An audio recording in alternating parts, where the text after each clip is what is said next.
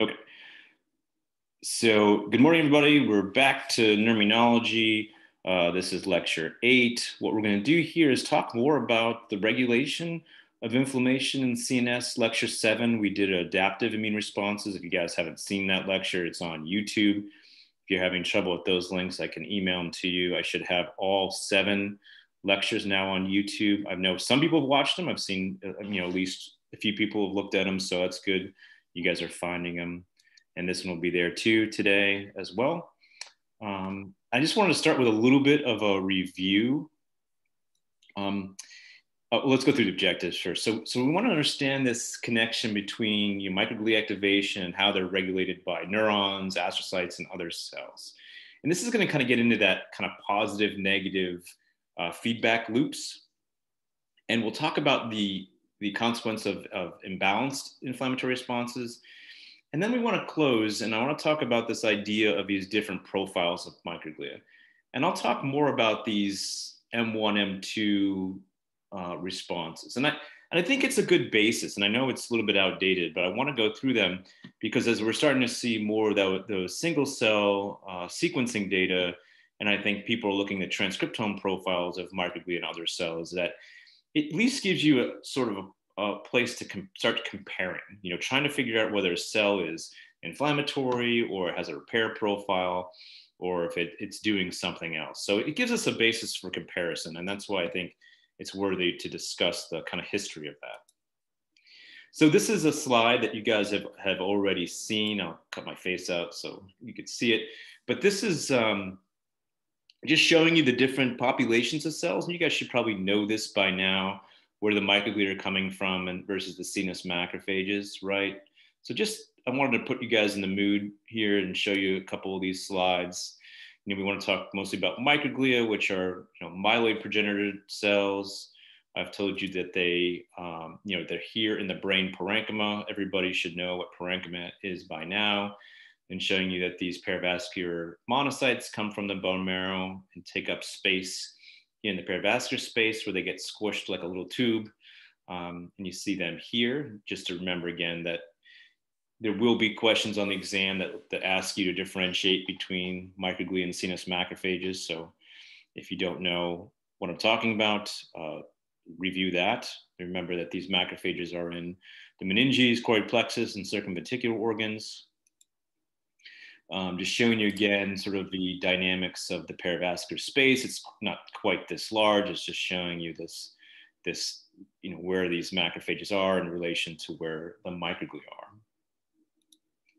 I'm going through these slides very fast because we've already talked about them and I, and I do like to reinforce them. Um, but we don't have to go through them in great detail. This is that Hickey paper that we talked about uh, on Tuesday, where we're seeing, you know, they were able to show you that these CNS macrophages here in the perivascular space were the ones that could present antigen very effectively. Um, we talked about this already, I think, in a prior prior lecture, don't exactly remember which one, but this is the idea, kind of classic paper now from Ginhoux showing that the microglia come from the embryonic yolk sac. Actually, all long-lived tissue macrophages come from the embryonic yolk sac. Uh, we see that they come to the brain in rodents, or at least in mice, in embryonic um, uh, day, day uh, nine and a half, essentially. You see these little blue dots. And um, uh, we don't, this is just not really relevant, but this idea that, um, you know, microglia is, are turned over. This is just showing you that likely microglia are not being turned over from the bone marrow. So microglia, if there's turnover, which appears to be rather slow, you know, it's likely coming from a, a local source. And we've already talked about these experiments. This is just showing you low turnover and that microglia aren't coming from the bone marrow um, it, this is uh, you know something that's that we take for granted now in that we know microglia are myeloid and they come from a source within the brain but let me tell you that when i was younger uh, this was sort of a huge question and uh, one that i think we now n- know pretty well. Um, so this is that col- colony stimulating factor receptor antagonist that blocks microglia survival. This is something that that's been used as a cool tool for years now, um, showing that you can basically use this antagonist through the diet, and then all your microglia and and many of your long-lived tissue macrophages also uh, uh, die, and that they go away. This is some data I think that we've we've shown before that you put these mice on the inhibitor, and it takes about three three days, and you start to see these IBA1 positive microglia um, disappearing, and by day 21 or 14 days, you see there's there's a you know this elimination of them. Um, so this is the other part of it too that that sort of hints at it's it, the ability to regenerate microglia. Um, this is when you stop giving the drug. So you give Plexxikon. Uh, this is the 3397, which is the older version. Those of you who use the um, newer version of it, uh, but it, it, does when you stop giving it, the microglia come back. And the thing here is that they're not coming back from the bone marrow; they're coming back from, you know, whatever percentage of, of microglia that persist.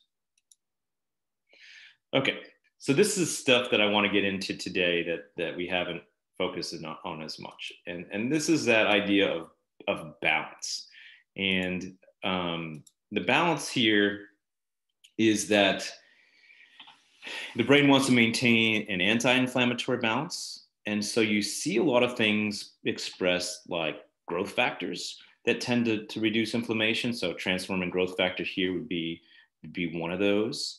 Um, we know that, that there are contributions of anti-inflammatory cytokines like IL-4 and IL-10. These may be coming from meningeal T cells.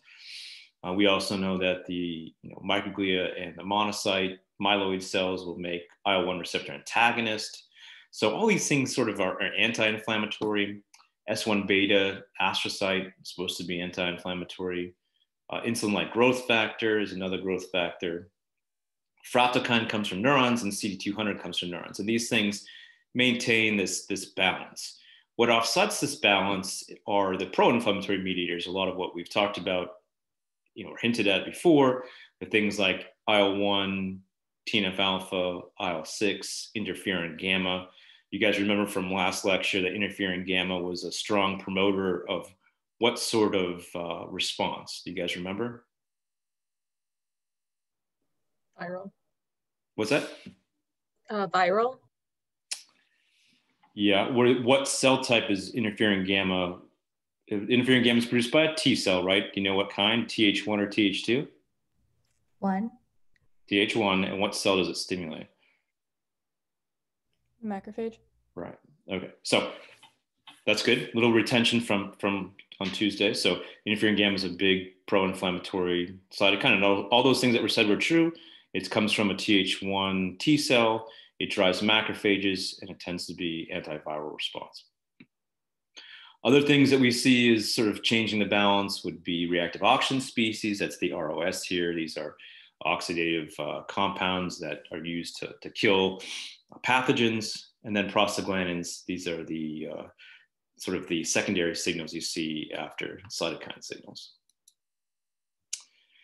So why does this balance exist? And I want you to sort of think about this. So the balance exists because the we want to maintain this anti-inflammatory environment to maintain homeostasis. Remember that neurons uh, like to function at a certain pH and osmolarity and cellularity, and that things that disrupt that will affect just the basic premise of the brain, right? Body to brain transmission, um, uh, body to brain, brain to body, right? So those those get disrupted if you have a change in this balance.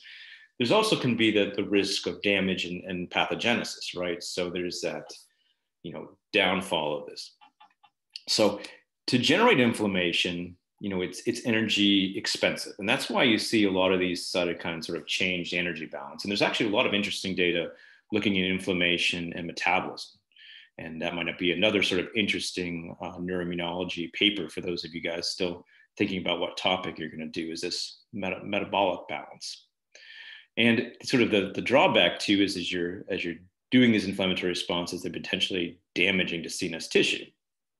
So if we do generate these inflammatory responses we want them to be rapid uh, and maintain uh, for the appropriate amount of time And so we have a lot of mechanisms in place to tightly regulate this. As you can imagine, right? It just makes sense that if you if you want to maintain the integrity of the CNS, you have to have tight control. So we know that these microglia are myeloid derived. They have a lot of tissue macrophage like activities.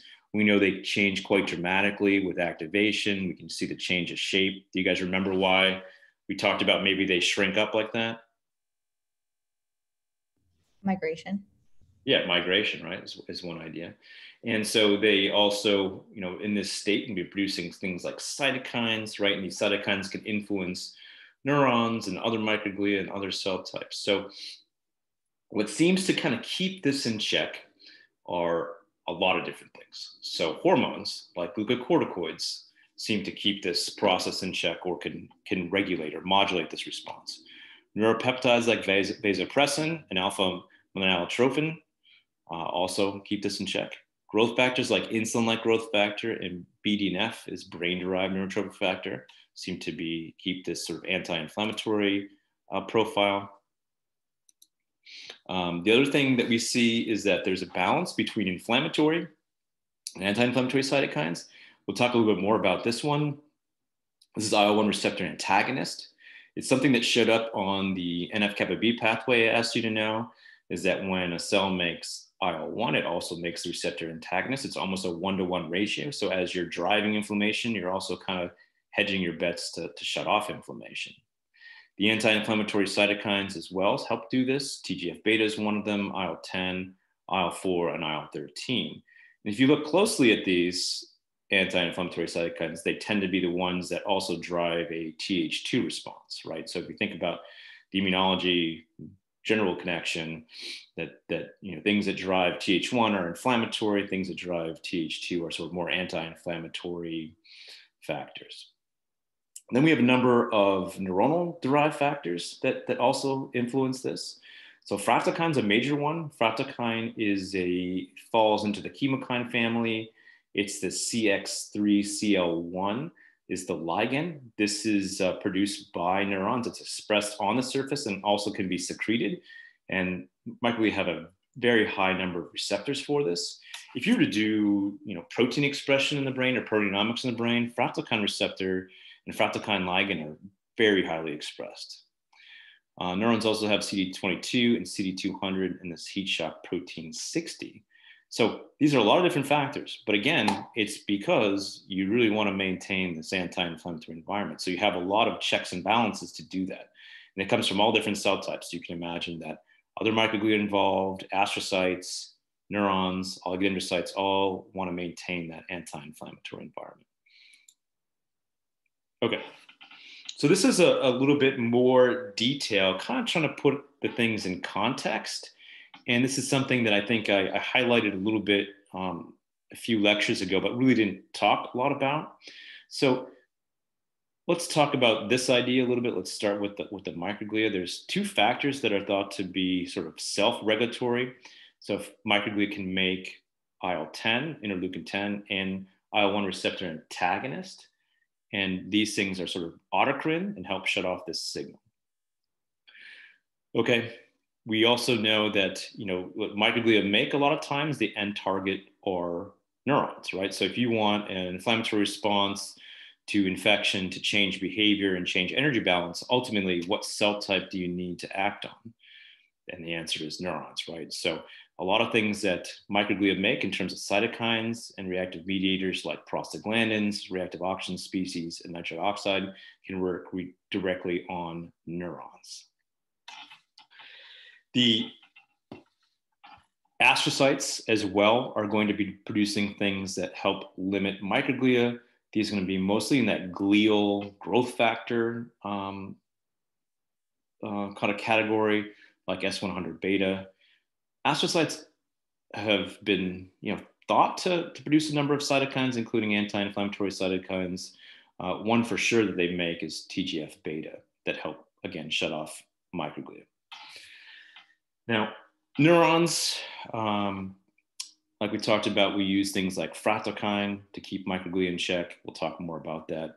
Um, and there's also a number of activating factors. So you can imagine too, if you have a viral infection or you have CNS damage, you need a way, a warning signal to other cells that something's happening. And so microglia are very sensitive what, to what changes happen in neuronal homeostasis. So if they start seeing a lot of neurotransmitters or uh, neural proteins like alpha synuclein or uh, neuropeptides like substance P, these can be strong activators factors for microglia and astrocytes. And in general, I think the astrocytes are, are important as well because of the amount of sort of the growth factors they make. So they make growth factors that microglia respond to, but also make what are called neurotrophins, which is a fancy word for a neural growth factor that help keep um, neurons safe. So um, things like brain-derived neurotrophic factor. So a little bit more of, of kind of the signaling that happens here. And I think it's, it's this crosstalk between them that I want you to think about this to more three dimensions. It's not just one cell in a vacuum producing cytokines. It's, it's this interplay between all of them, ultimately to, to influence some of those behavior pathways that, that we've talked about. So I think this comes right out of one of the uh, review articles that I put in there. And some of them are a little bit older, but I think they, they, you know, these regulatory pathways really haven't changed. There's been some new ones. And so I did add a 2017 paper in there as well.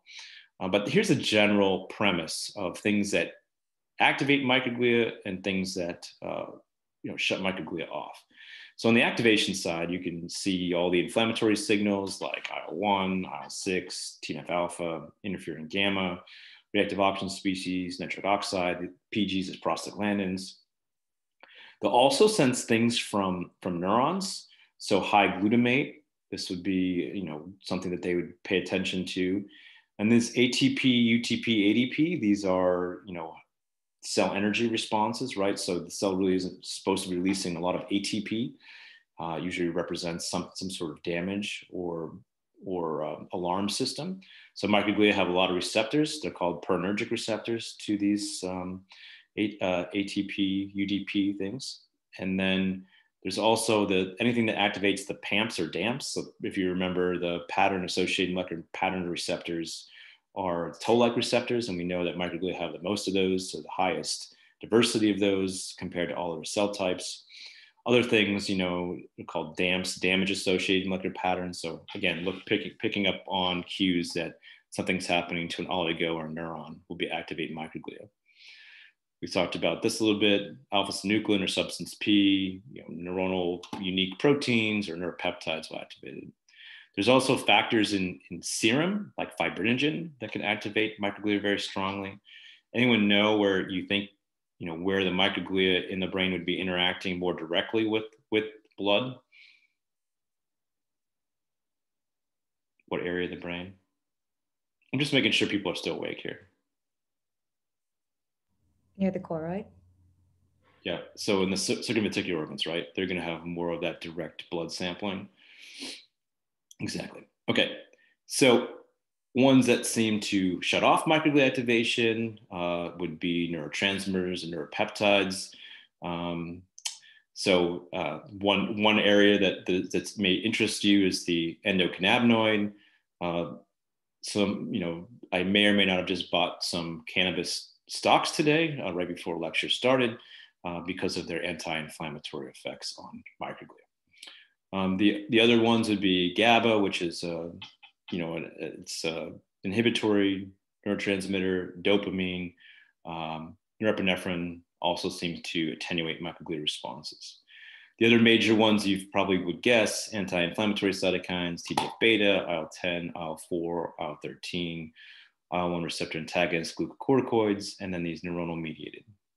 Uh, fractalkine, CD200, CD22, heat shock protein 60, and then growth factor. So a wide array of things. And we'll go through some of these in, in a little more detail, but definitely expect that on the test, I'm going to ask you to know, know the difference between an activating factor and an inhibitory factor, right? So that's why I made this slide yellow. It's a pretty good review to see all of them together. Okay, so I want to go through a couple examples. Um, this is uh, uh, how microglia get activated by serum fibrinogen. Um, the, the, the, fibrinogen receptor is actually a uh, complex of CD18, which CD, if you remember, it stands for clusters of differentiation. It's an immune cell uh, uh, denotation. This also has, it, it, complexes with CD11B, which many of you may have used before as a marker and flow cytometry. So these things uh, complex with uh, fibrinogen and you get more of this enhanced phagocytosis. So this is a strong stimulator for microglia to become more phagocytic.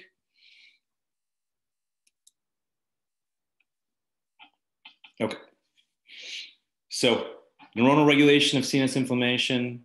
We know that neuron structure and function is extremely sensitive to damage by microglia overactivation. This could be that more that indirect cytokine signaling, nitric oxide, reactive oxygen species. And so they have a lot at stake at regulating inflammation, meaning they want to keep that anti-inflammatory balance. And they seem to have constant communication with, with microglia, whether it's you know sort of a, a, a cell protein on the surface that comes in contact with microglia or by secreting things that keep microglia in check. And so what's sort of interesting is, is in terms of this neuronal activation is that uh, you know in order when you see a transcriptome analysis of, a, of an active microglia what oftentimes you see is that all those homeostatic genes the ones that you normally find on a surveying microglia get uh, see a reduced expression. And so the idea would be that in order to respond to activating signals it has to kind of shed those inhibitory receptors and you see that. And so one of the things that kind of gets, uh, I hate the word, but maybe we can use it downregulated. So things that get downregulated or decreased would be the fractalkine receptor. Um, and so it helps you escape that uh, regulation by the neurons. Okay. So how does it respond to some of these things? So what do, what receptors do microglia have that you know uh, respond to neuronal things, um, and that was a little bit unclear, but I, I did tell you that the purinergic receptors are things that will respond to uh, ATP. Um, and they also have receptors for uh, neurotransmitters. They have receptors for norepinephrine, which are the beta adrenergic receptors, dopamine receptors, and then glutamate receptors. From the context of, of yeah, sorry, in the context of responding to inflammatory signals, they have cytokines receptors. We know they have a lot of them. And they also have those toll-like receptors. Again, a lot of toll-like receptors. And then there's this idea of these damage associated receptors too. We just had this discussion about fibrinogen. Um, so this is just showing you a little more that the idea is with neuronal activation of microglia, it's mostly going to be a change in, in neuronal homeostasis. So uh, if we have excess glutamate, this is going, microglia going to respond with the glutamate receptor. If they have excess ATP, the purinergic receptors, there's two here, the P2Y6 or P2Y12, P2Y7. These are three purinergic receptors that can activate microglia. So glutamate is, is really the most abundant excitatory neurotransmitter released by neurons. And excessive release causes something called that excitotoxicity. Probably most of you have heard of that. Excess glutamate can kill neurons. So it's very important that we can respond to that. We talked about before that astrocytes can pick up glutamate through glutamate transporters and also uh, convert it to glutamine, sort of the non-reactive form. So there's a, a series of glutamate uh, receptors on the surface of, of, of, of, microglia that, that can lead to uh, activation uh, and you see this activation in a couple different disease states. Um, what it can do is when you see excess glutamate, one of the pathways that, that it activates in microglia is TNF alpha. Um, and so that's kind of how the, the microglia become activated with high levels of glutamate. So another sort of idea here is the sensing of uh, ATP, UDP, and others. And again, these are through the purinergic receptors. Um, so UDP is going to be released from injured neurons. It's going to activate the P2Y6 receptor on microglia. Um, P2Y12 is going to be responsive to ATP. And then also, you know, you can sense, it can sense low ATP and high ATP. So it can differentiate. Both are, both represent changes in homeostasis, right? So high ATP seems to um, activate microglia more sort of in that pro-inflammatory response. And then uh, low ATP seems to help change the process movement. So microglia processes move, their extend their, their processes.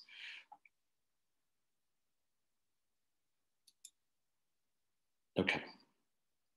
So how to respond to some of these off signals from neurons. Um, so things that help shut microglia off, these neurotransmitters, and neuropeptides. Uh, they have the alpha 7 nicotinic receptor. Um, anyone know what receptor, what neurotransmitter activates that one? Acetylcholine. That's right. Beta adrenergic, what, which, which neurotransmitter activates beta adrenergic receptor? Norepinephrine. Right. Okay. So it's going to respond to some of these things. These generally have a sort of modulating effect on microglia. Uh, one of the big ones here we've, we've talked about before in terms of uh, anti-inflammatory feedback is the glucocorticoid receptor. All right, so this is a nuclear receptor. If you guys remember, it's one of those receptors that that's the, the response on it's very close to the NF-kappa B site and can actually knock NF-kappa B off the promoter. So microglia can respond directly to that. Another big one is the TGF beta, TGF beta receptor on, on microglia. TGF beta can be made by a wide variety of cells, including astrocytes. Um, and then there are neuronal mediated factors. This, this is fractalkine. It's easier to say than saying CX3CL1. Um, the receptor is CX3CR1. So R is for receptor, L is for ligand. Um, this is called CD200. This is another uh, receptor on microglia that's been, uh, you know, shown to be important for anti-inflammatory regulation of microglia. The complement part here are neurons, or the the the uh, uh ligand is CD200. There's also CD22, which binds to CD45, and then heat shock protein 60 that binds to to TREM2.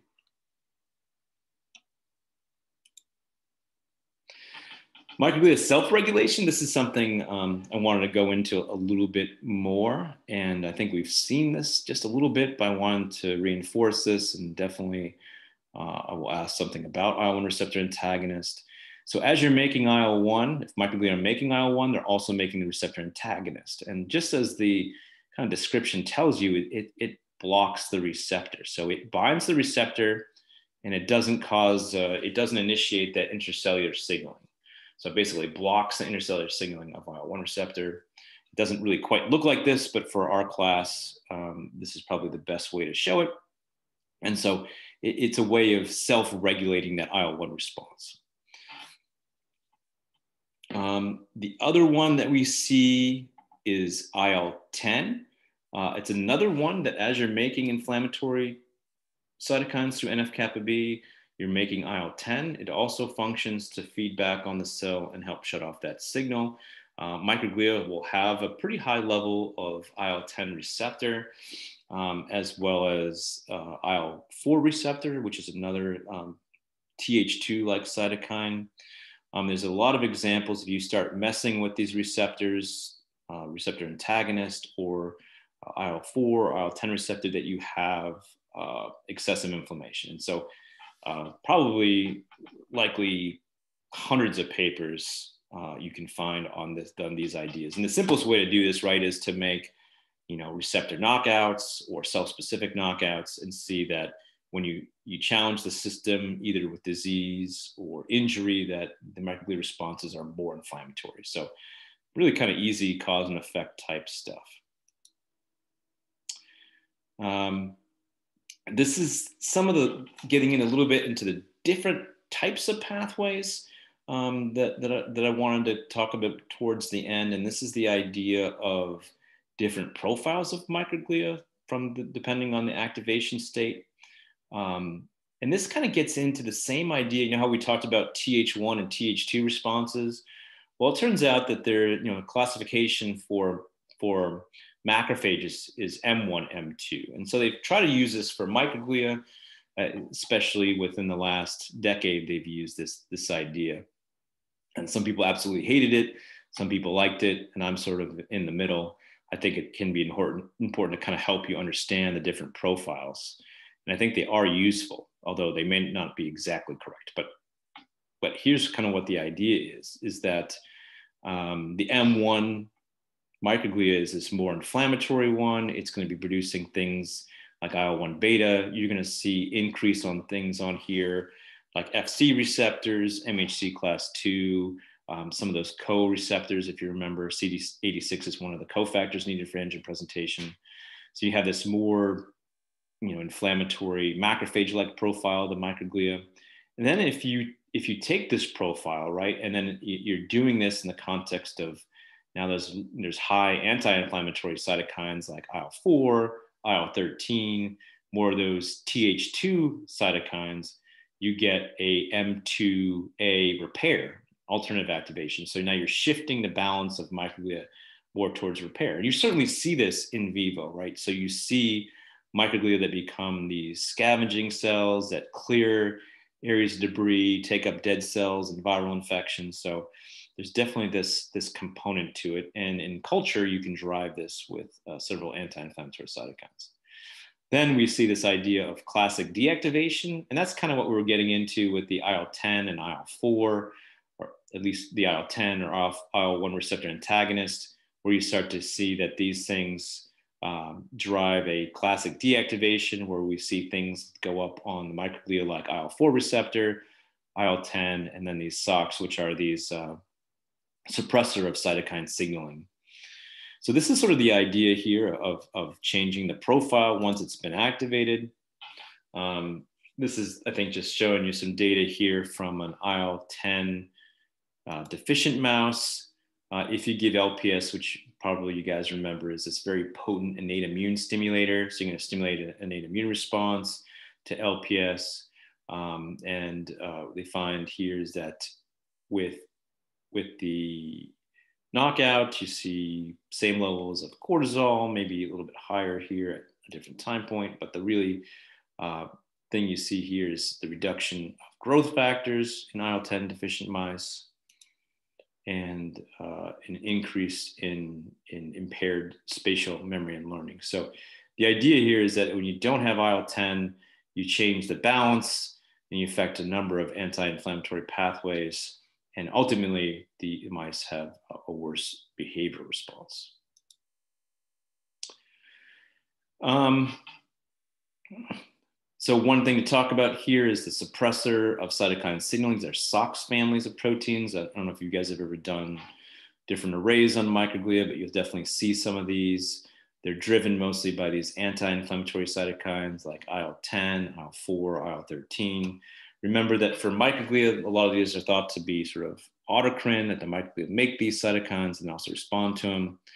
Um, but other things can make these cytokines, like T cells, for example, and uh, neutrophils and astrocytes.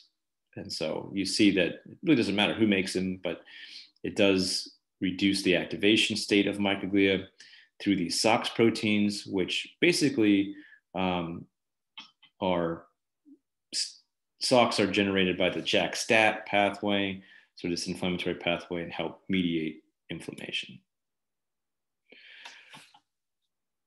Okay, so again, a little bit more on these uh, neurotransmitters. So um, norepinephrine, dopamine, uh, acetylcholine are all pretty anti-inflammatory. Again, the reason that the microbe can respond to them is because they have receptors for them. Um, it seems to also, uh, you know, change uh, activation state. If you were to affect these neurotransmitter systems, we can see an increase in inflammation. So, um, you know, one of the ideas here is that loss of the neuro, neuro, neurogenic neurons in, in Alzheimer's disease may be caused by increased microglia activation, um, and then we see a lot of stuff in culture that you know you can modulate microglia responses uh, using acetylcholine or nicotine tend to be anti-inflammatory. lowering responses to LPS and lowering um, uh, other factors. And so, just one caveat here if you look really closely at a lot of this neurotransmitter work for microglia, it tends to be on in vitro research. And people from my lab probably tell you that you know you can basically get anything to work in vitro. Uh, another one uh, that we see inhibiting microglia response is GABA. GABA tends to be a, a, your primary uh, inhibitory neurotransmitter. Um, many you know probably that GABA agonists are used as sort of anti-anxiety drugs.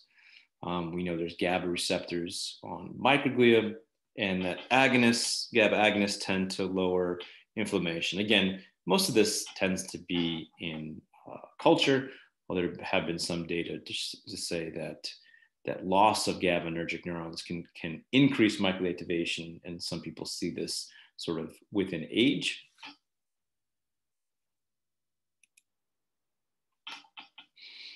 Okay, cannabinoids are, are really interesting uh, because we also have these endocannabinoid receptors. And endocannabinoids tend to be very anti-inflammatory. Um, and so we see that endocannabinoid treatment of microglia uh, can attenuate their activation. And in several models, I mean, there's probably a lot of them now that use endocannabinoids and you can reduce inflammation one here uh, from a while ago was an Theiler's virus model. This is a, a, model where you get the spontaneous autoimmune disease, and this this was endocannabinoids helped uh, reduce that. Endocannabinoids actually, we, we published a paper are really effective in, in reducing stress responses and stress associated inflammation. Um, so again, you know, the, a lot of a lot of immune cells have receptors that can respond directly to those endocannabinoids. So I think this is another important slide looking a little closely. Again, these are some of the same ideas, just looking a little more visually at it. These neuronal off signals, a lot of these are actually uh, membrane bound. So they actually require contact with the microglia. So CD200 receptor on on, on microglia, you know, it binds closely with the CD200 on, on neurons. CD22 binds CD45 on microglia, and heat shock protein 60 binds TREM2. And then fractalkine receptor can either be membrane bound or you can have actual release of fractalkine and it gets processed by, prote- uh, by a enzyme, enzyme, enzyme family called ADAMs. Um,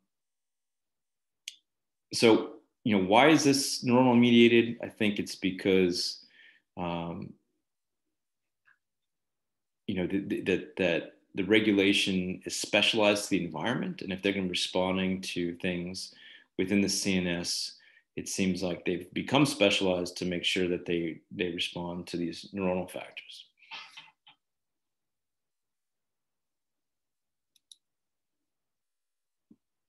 okay this is just another sort of chart to help you kind of come in contact with, with what's happening.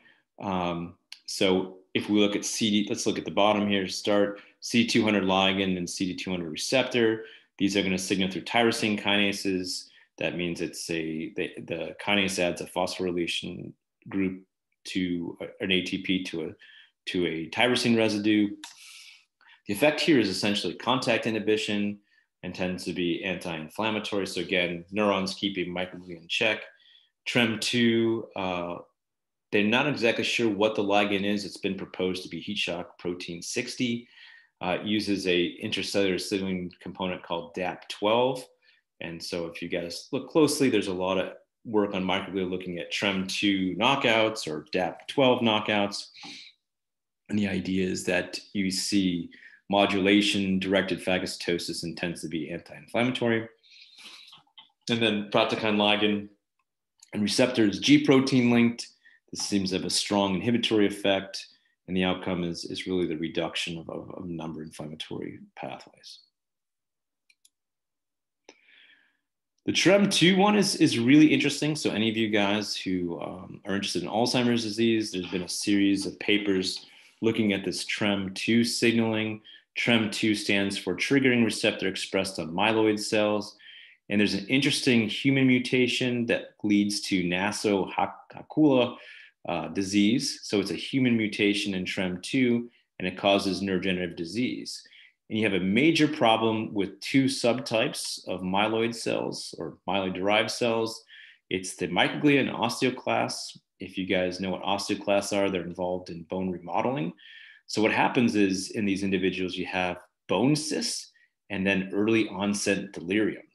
And in the brains of these people, you see significant evidence of inflammation. And uh, you can get a similar phenotype by knocking out this DAP12. And so what's interesting about this pathway is, is that, you know, TREM2 mutations are also high, highly found uh, in Alzheimer's disease. So here's a pathway that is neuronally directed that if you have problems with it, you, you lose that regulation by the neurons. You have microglia activation, you have increased inflammation, and you have uh, cognitive decline, delirium. And in Alzheimer's, of course, you have uh, neurodegeneration. So a lot of interest in TREM2 signaling in, in microglia. Um, TREM2 knockout mice. So um, this is you know some some famous studies on this. Uh, they see this degenerative phenotype and impaired microglia activation. Sorry, increased microglia activation. One of the really classic ones, this neuronal off signal, is this fractalkine. I know I've mentioned it seven times already today, and also seven seven something that rhymes with or something that is relevant to seven is that the receptor is a transmembrane G protein linked receptor. It's called a serpentine receptor because it passes through the membrane you guessed it, seven times. And uh, it can respond to the to the membrane bound. So there's fractalkine receptor that's that's on the surface of, of neurons, so they come in close contact. But it also can be um, the little scissors here show you that it can be cleaved and released, and that the, the microglia can can respond to it both in the sort of resting stage and sort of in the, the active stage. So it's actually a uh, chemokine family it's in the CX3C design. Um, so that's a cysteine, and then the X can be any any amino acid, and then it's going to be uh, a repeat of three X's, and then another cysteine.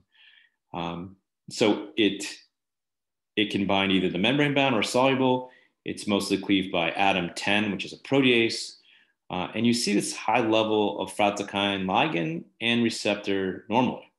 I'm telling you, if you do PCR or you look at transcriptome analysis of microglia or neurons, you find that both are highly expressed normally. So, one of the cool things is that to circumvent this regulation, you can see that that that microglia here, you're, you're surveying microglia are responding to this tonic signal from the neurons through the fractalkine receptor and then when they become highly activated as they're changing their structure, one thing they do is internalize the receptor.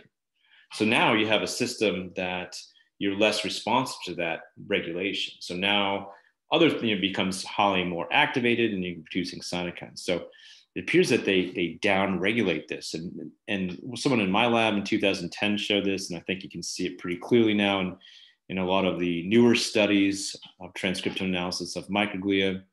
Um, there's also these classic papers by a, a famous neuroimmunologist, uh, Richard Ransohoff, used to be at the Cleveland Clinic. Um, not sure where he's at now, but he's he's a brilliant uh, uh, neuroscientist. And they, they were doing some of the initial studies using these fractalkine receptor knockout mice. Um, some of you may, may still use these mice and don't even know it. These fractalkine mice the, were homozygote for, re, for the receptor loss but the um, heterozygote ones actually have a GFP in there. And so it makes the microglia visible. So some of you who have used these, you know, looked at GFP positive fractalkine microglia actually use the, the het version of these mice. Um, anyway, the knockouts, when you don't have the fractalkine receptor on microglia, you see much more inflammation with a innate immune challenge. Here they're using lipopolysaccharide, and they found evidence of neuronal loss. This is showing you sort of the normal microglia. I believe this is a, I think it's an IP LPS injection. And then here you see more kind of reactive looking microglia, and they see these um, the uh, NeuN plus Nexin 5, which is supposed to show you more apoptotic neurons. So they, they argued here that you see this apoptotic death of neurons when you can't regulate microglia.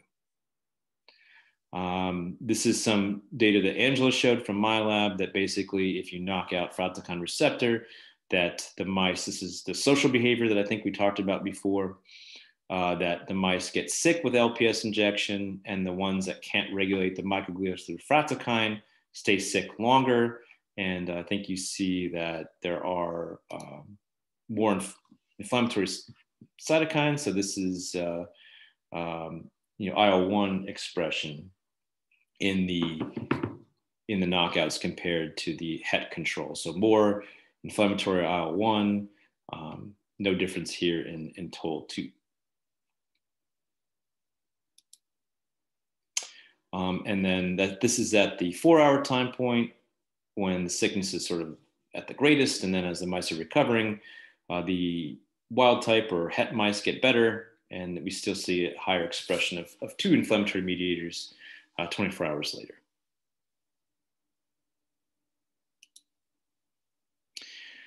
The other thing that Angela saw is that in the fractalkine receptor knockout mice, that the prolonged inflammation had had more effects on behaviors. So one of the things that sort of you don't see normally with uh, innate immune challenge is this depressive-like behavior. Um, this is looking at mobility or motivation in the tail suspension test. Normally a mouse will want to want to get out of that situation, just like probably any of us who's hung by you know, our legs or a tail. Um, not super happy about it. So you find that the mice are pretty mobile. Um, mice that, that have this change in mood, however, are immobile longer. And that's basically what Angela saw. She didn't see it in any of the controls, but she saw it 72 hours and 48 hours after LPS injection, in, only in the knockout. So there's a consequence to having this prolonged microglia activation, not only potentially on, on brain pathology, potentially the loss of neurons, uh, but uh, you know, behaviorally, you can see things that normally don't show up in, in responses. Um, you can also see these, these more reactive IBA1 profiles in the same study in the knockouts compared to the uh, controls. Okay, so just a, just a little bit of review of the fractalkine signaling. Um, in the CNS, fractalkine restrains microglia and activates them. Now, what I want to bring up here is a little bit of a caveat, and I'm calling it duality. So fractalkine is also a chemokine, right? And so it's not restrained just to the CNS. Fractalkine is and the receptors show up, you know, everywhere in the body, and particularly on myeloid cells. Even even circulating monocytes have the fractalkine receptor. Um, so in the periphery, fractalkine ligand helps recruit myeloid cells to areas of damage. Um, and there's even some evidence in the brain that that you know the reason that microglia are moving their processes is is along a gradient, right? And part of that gradient might be that neuronally secreted fractalkine ligand, right? So they're responding to that chemo, chemo or they they respond to those chemokine factors by moving their processes back and forth. So in the periphery, though, you see it much more as a classic uh, chemokine. So there's some interesting things when you start to look at fractalkine uh, receptor knockout mice. And it really depends on the context that you're looking at them. So it looks like if you were to, to damage the spinal cord or, or damage the brain where you have the infiltration of peripheral immune cells like monocytes, you can see a lot, lot of differences uh, there. And so part of it is that fractalkine receptor deficient mice might have better outcomes because they don't see the same level of recruitment of neutrophils and monocytes to sites of injury. So one of the, you know, if you're thinking about the best uh, profile you'd want in terms of fractalkine receptor expression, this is sort of some interpretation from some results that are out there, including some work by uh, Phil Popovich, who's here at OSU. The, the best phenotype for fractalkine receptor expression in injury models would be that you have wild type fractalkine expression on the microglia, but you have fractalkine receptor deficient bone marrow monocytes. So you limit the microglia activation through the fractalkine receptor in the microglia, and then you you limit the amount of monocytes coming in by not having that receptor. So something to keep in mind. If you read a lot about fractalkine, you'll find you'll find a lot of evidence of this duality. Um, not sure why it says IL-10 objectives here, um, because we're still in lecture eight, but uh, we do want to talk about this this idea of of the M1 and M2. Let's see how much time we have. So at least for another eight minutes, I will talk about this. Um, and again, the M1, M2 idea is more antique, right? And fallen out of favor, but it does give us a basis for some comparisons. And the reason that I think it's important is that if you start to look at the single cell data, and that is looking at single cell expression of, of microglia, you see distinct phenotypes with, you know, during age or during infection or inflammatory response. This paper uh, published in Immunity had nine different distinct categories of microglia. Um, so I think categories of microglia is something that that neuroimmunology really always wants to do, and so it gives us a, you know a start for for uh, comparison. So there's these proposed four basic profiles, and it's this M1 versus M2. So the M1 macrophage microglia is this classic activation that produces pro-inflammatory cytokines, right? So this would be the one you'd see initially with a lipopolysaccharide injection or some sort of CNS infection initially. Um, and then you can get these, you know, M2, these alternatively activated microglia macrophages. So M2A is this alternative activation thought to be involved in tissue repair. So in papers that propose that they have an M2 activation of macrophages and microglia, what you see, or what you used to see is arginase, mannose receptor, and this thing called uh, YM1, which I think is chitinase. And these are also thought to be kind of alternative activation. M2B uh, is thought to, to be sort of this inflammatory, inflammatory and homeostatic profile where it's kind of happening at both times. And this is, this is when you see both IL-1 and IL-10 being produced but microglia at the same time. And then classic deactivation seems like you something that would happen with time, where you see that you know they were initially activated, and then you see this down regulation, you know, caused by IL-10, IL-4, and you see an increase in the the, the SOCS signaling, the, the suppressor of cytokine signaling. So here's sort of the idea of what the function is. So an M1 microglia classic activation activated by LPS, innate immune stimulation, toll activation, interferon gamma. What the microglia are going to make are inflammatory cytokines like IL-1 and TNF alpha, uh, nitric oxide. Uh, you're going to see a number of things get increased on the surface. These could be MHC proteins, or cofactors like CD68. Oh, I'm sorry, CD86 you're going to see them involved in trying to destroy microbes. You see them producing reactive oxygen species, pro-inflammatory cytokines, and picking up things either by complemented or antibody-associated phagocytosis. Whereas this M2 alternative repair uh, you see is driven a lot by some of these IL-4, IL-10 pathways, where we're going to see things like arginase uh, increased and what this is supposed to be doing is a microglia that's promoting angiogenesis or, or vascular regrowth, uh, producing anti-inflammatory cytokines, and producing polyamines, which are uh, other signals for cells important for repair. So one of my pet peeves as a scientist, a grant reviewer, and a paper reviewer and, is that I do not like people telling me that they have an active, reactive, whatever microglia by showing me a picture of IBA1 labeling. Uh, and, and people are still guilty of this, unfortunately. And so just just showing me one figure saying that you know you have activated microglia, you know what does that really even mean? And I think this is this is the reason that you know I like that we, we're trying to categorize what what a microglia is doing based on its you know protein and mRNA profile because I'll argue with you that you can't tell anything from the morphology alone. Um, so this is again the, the M1, M2, M, M2A, M2C idea. Um, this really just comes from classic uh, monocyte biology.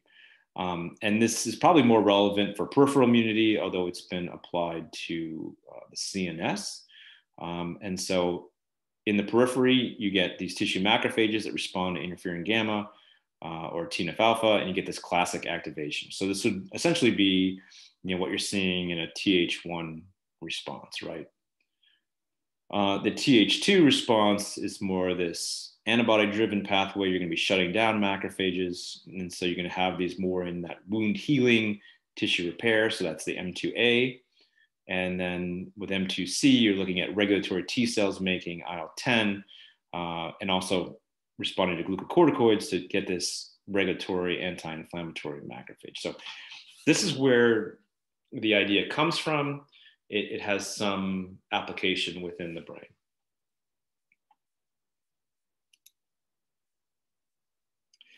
Okay, so M1 stimuli, interferon, TNF alpha are the big ones. Uh, you're going to have, uh, this can be a Th1 response, so it can be activated by a, a T cell making interferon gamma to activate a macrophage. This can also be um, through toll receptor binding. This one's showing you TNF alpha or interferon gamma. These macrophages will in turn make TNF alpha. Um, TNF alpha, this is this TNF alpha will also promote more IL-1 reactive oxygen species. So this is the kind of the pathway there. Um, so what else stimulates an M1 pathway in microglia macrophages or more relevant to the brain? One of them that they see is amyloid beta. So amyloid beta is that kind of misfolded protein in Alzheimer's disease that uh, in vitro and in vivo stimulates more of this classic activation of microglia. Um, you know, and then lipopolysaccharide and a lot of bacterial innate challenges will, will strongly promote this M1 profile in vivo and in vitro. Um, are there different M1 profiles? And I think the answer is, is yes. Uh, and I think there's quite a bit of diversity in the M1 profiles, you know, because, in, and we talked about this at the very, very beginning is, you know, neuroinflammation and things are very context dependent. So in EAE, you see these active M1 microglia produce reactive oxygen species, but also help break down the blood brain barrier and strip synapses, right? In the sickness response that we've talked about, we see that microglia you know, produce cytokines and reactive oxygen species, but don't break down the blood brain barrier and no damage to axons and neurons. Uh, in mild TBI, we've seen these really uh, unique cells called jellyfish microglia um, that look like they, you know, kind of float around and, and, take up a really uh, unique shape uh, and thought to be important in, in repair potentially. Beta, amyloid, uh, amyloid beta and fibrinogen also activate M1, uh, and this will sort of stimulate chemotaxis and phagocytosis. So again, there's a lot of different M1 profiles I think that we have yet to uncover, and maybe the single cell will show us some of that. Um, and then this is sort of the M2 stimuli. Again, a lot of this uh, comes from classic monocyte biology. Uh, the M2A is thought to be increased by IL-4 and IL-13. This is going to be coming from Th2 T cells, granulocytes, so there's be neutrophils, basophils, eosinophils, and mast cells. Classic deactivation is sort of uh, something that you'll see with you know, sort of the resolution of inflammatory responses to bacterial things or IL-1 stimulation. Then classic deactivation is going to be from TGF beta and IL-10. Um, this is just showing you some of the, the profiling with M2 phenotypes. I do want you guys to, to, to be familiar with some of these things. Uh, classic M1 is this bacterial viral clearance, it's important for host defense. This is sort of classic macrophage biology. The M2A is more alternative host defense, uh, involved in, in more of that Th2 type response, reduction of general in, inflammation. And then this classic M2C is going to be this um, kind of inhibition. And it turns out that it, if you guys have ever looked for these M1, M2 profiles, it's actually uh, impossible really to see distinct profiles. And what they argue is that it's kind of a, a a uh, spectrum. So it's kind of a spectrum of of what it really looks like, and that you see it's that you're actually capturing monocytes or microglia in, in changing its their phases, and so you see a lot of kind of cross reactivity in the different phases. So it's really hard to really distinguish things. You're just M1, M2, and M, M2C. So again, the reason I bring this up, and I know I think I'm I think I'm a few minutes over, but I think I only have a, a couple slides left. Um, the reason I bring this up is because we're seeing so much single cell sequencing now in the context of neuroimmunology that I think you really do see unique profiles, and they don't necessarily match up with this idea of M1, M2, you know, 100%, but they are sh- showing unique profiles. And so um, this is one that we did uh, from the cortex. This is seven days after a brain injury. And uh, with single cell sequencing, you can see, you can get all the different cell types here from, from the brain. This is actually from the cortex. So with the resolution of single cell sequencing, you can actually get you know, microglia uh, at a pretty high level. And what we found here, and this is, uh, you know, uh, the best way that I know how to present it is using these pie charts. So in our model here, this is the control. We found, I think it was uh, 10 distinct clusters of microglia in the cortex.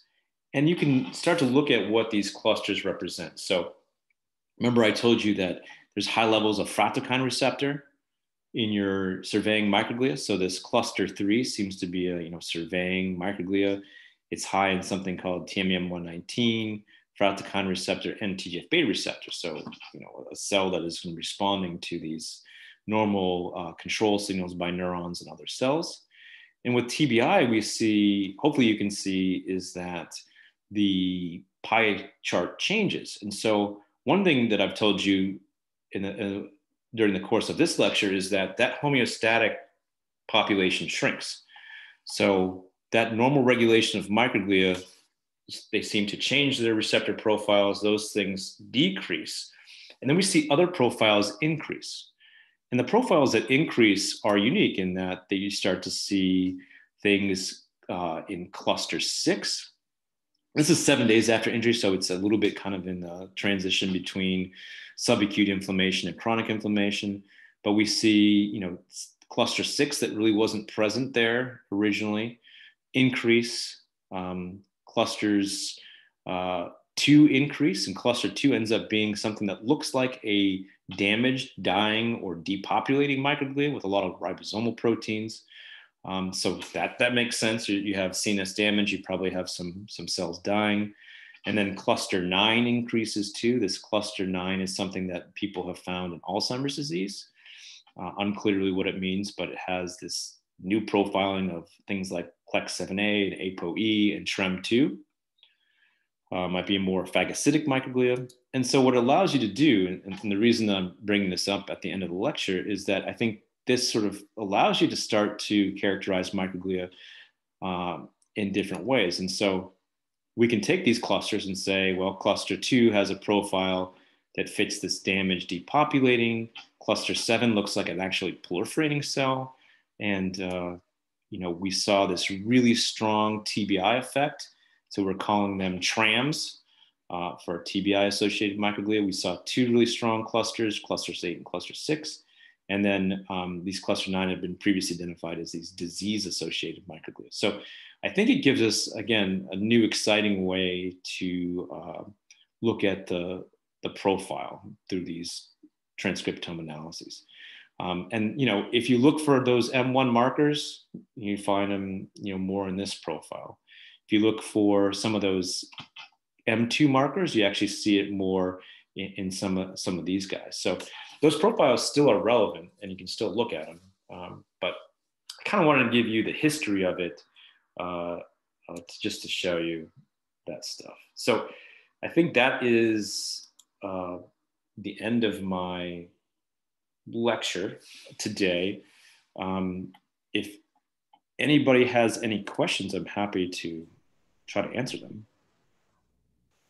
Um, yeah, I have a question. So, do you think that there's anything cell intrinsic um, determining the activation state that the microglia are going to acquire, or is it all solely based on like the surrounding microenvironment, whether they're going to, you know, acquire more of an M1 versus an M2? Like, obviously, it's state dependent on the microenvironment, but do you think there's any sort of intrinsic bias to kind of prime these cells to acquire one fate over another? If that makes sense. Yeah, I mean, it could be regionally dependent, right? Uh, each, you know, because microglia are a little bit different in different regions, you know, whether the white matter or gray matter, I mean, whether they're by the CVOs or not. So, yeah, I think that that could be part of it. Also, how old the animal is. With age, we see pretty dramatic changes in those regulatory pathways. But I do think, I mean, I think they, they have to, you know, if you saw all those signals we talked about today, I mean, we had the whole thing of things that turn them on and off. I mean, at, at, a signal transduction level, it's interpreting all those signals that happening at once. You know, and I think that what's what's fascinating to me is that to overcome some of those inhibitory signals, you actually see the receptors get get get internalized or or shredded, so that it makes sense and how they how they uh, kind of de- decrease sensitivity to those neuronal signals so that they can respond to the kind of activating signals. And I think that's exactly what you see in those transcriptome analyses. With so something that I thought about in 2010 to be confirmed to me, at least in my own mind, in 2021 is is, is, is very rewarding. Yeah, because I'm just thinking in context of like, obviously when you're looking at the cortex, like it's you know really big, and obviously there's a lot of region dependent changes. But if you were to do single cell RNA seq on like a damaged retina, which is like a pretty homogeneous piece of tissue, there are subclusters of microglia um, kind of showing different states. And so I'm wondering, I'm like, is it, I would guess it's probably not something about the microglia. It's just got to be like their stochastic uh, microenvironment, you know, which receptors are getting most activated on this random microglia versus, you know, the one couple, you know. And I think you're also running into the, I'm going to stop recording this and I'll, and I'll just so we don't, I'm happy to keep answering questions. I'll just stop recording.